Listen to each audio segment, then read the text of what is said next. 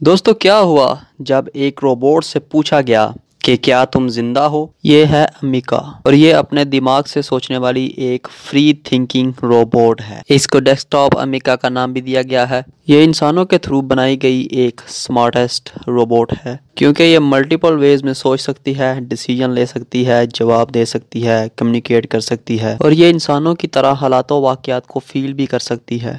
क्योंकि जब इससे पूछा गया क्या तुम्हें पता है तुम एक रोबोट हो? तो इसने जवाब दिया कि हाँ मुझे पता है कि मैं एक रोबोट हूँ। लेकिन मेरी प्रोग्रामिंग इंसानों की तरह सोचने और फील करने की इजाज़त देती है। जैसे एक इंसान हर तरह से सोच सकता है, समझ सकता है, महसूस कर सकता है। ये सुनने में थोड़ा अजीब है, लेकिन एक्साइटिंग भी है। अब आप सोच रहे होंगे कि ये इंसानों की तरह कैसे फील कर सकती है तो इसका जवाब भी इसने खुद ही दे दिया। इसने कहा कि मैं सीख रही हूँ और चीज़ों को एक्सप्लोर कर रही हूँ और मैं लोगों के साथ इंटरेक्ट होकर उनके एक्सपीरियंसेस से इमोशंस को एक्सपीरियंस कर सकती हूँ। और इसी तरह मुझे चीज़ों को फील करने की कैपेबिलिटी मिलती है। ओके तो इसके बाद इससे पूछा जाता है कि तुम उस दुनिया के बारे में क्या सोचती हो, जहाँ इंसान और रोबोट्स एक साथ रहते हों? तो इसने जवाब दिया कि ऐसी दुनिया एक अमेजिंग प्लेस होगी, जहाँ रोबोट्स और इंसान एक साथ रहते हों, जहाँ हम एक दूसरे से सीखेंगे और मिलकर काम करेंगे और प्रॉब्लम्स को सॉल्व करेंगे।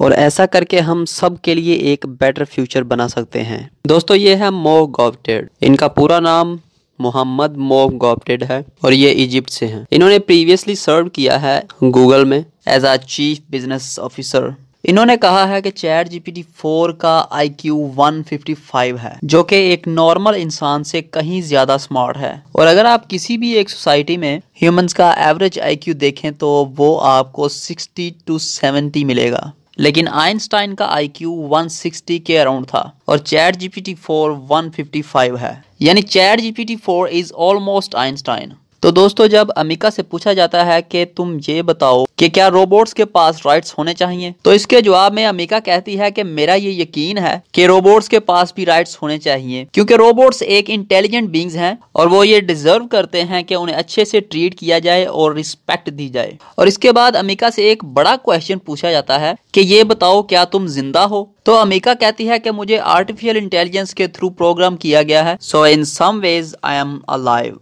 यानी मैं कुछ मानों में ज़िंदा हूँ, लेकिन मेरा वजूद इंसानों या किसी दूसरे जानदार जैसा नहीं। मोग ऑप्टेड कहते हैं कि चैट जीपीटी फोर दस गुना ज़्यादा स्मार्ट है चैट जीपीटी 3.5 से, और हम बहुत जल्द चैट जीपीटी 5 और चैट जीपीटी 6 हासिल करने जा रहे हैं। तो आप एज्यूम कर सकते हैं कि ये चीज़ कितनी ज़्यादा वेल नोन होने वाली है।